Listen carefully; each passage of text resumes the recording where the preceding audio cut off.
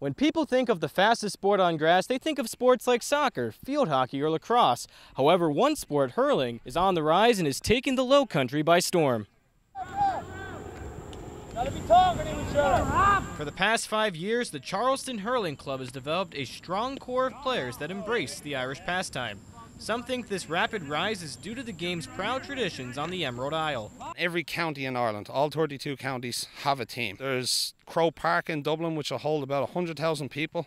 Everybody buys tickets. It's our Super Bowl when you get to the All Ireland final.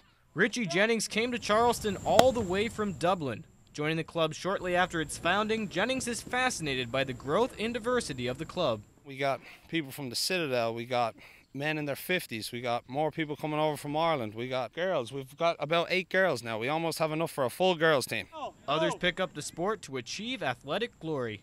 You really don't get an opportunity for me at 30 to find a sport where you can travel to other cities and uh, play other states and uh, get to compete for trophies. Some play the game to meet new people in the Holy City. We're also a very social club, so we meet out a lot.